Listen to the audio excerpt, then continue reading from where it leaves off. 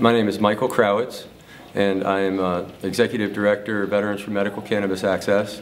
I am a medical cannabis patient. Um, I didn't know it at first. I became injured in uh, the Air Force while I was on, on my way home from dinner, actually, on coral-packed roads with poor lighting in Guam.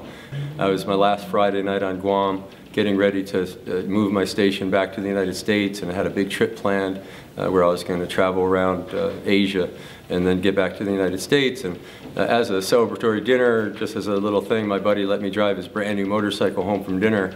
And because I was on his brand new motorcycle, I was taking it easy in the right-hand lane. And that just uh, incidentally happened to be a lane that ended with no warning and no signs, no lights. And uh, I just got broken up pretty bad. I, I lost my spleen. I broke, fractured my left arm, I broke my hip, and I just smashed my lower leg. And then I had about 13 surgeries in all, inside the Air Force and out in the VA, to put me all back together. All of a sudden I was a disabled vet.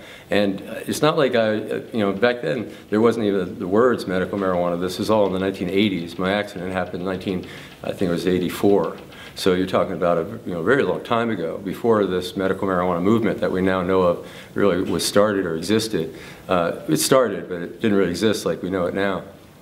And I basically went through every treatment that they had at the VA, uh, which is a whole lot of treatments. I mean, probably 30 treatments in all not including varieties of the same treatment, like 10 different NSAIDs or things like that that they tried me on. So there's drug treatments, dozens of them, and then the non-drug treatments, you know, the uh, kinesiotherapy and the aquatherapy and the uh, ultrasound therapies and all these different things to try to remove pain and deal with these issues over time.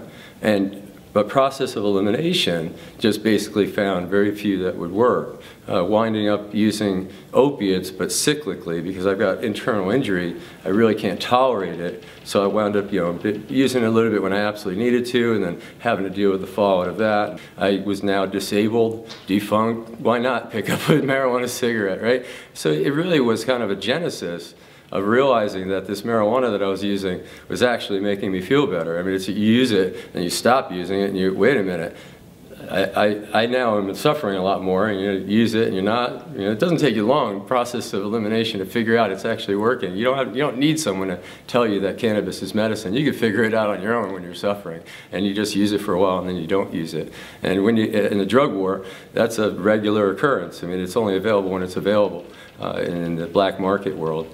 Uh, without a dispensary that you can reliably get medicine from, that's the world that we lived in, you know. Uh, cannabis has been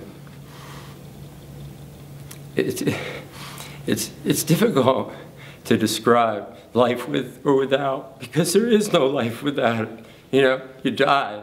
You, you know, pain isn't the kind of thing like post-traumatic stress that'll just kill you so suddenly as killing yourself or killing others and getting killed by the cops or some of these terrible scenarios. But it's like uh, water torture.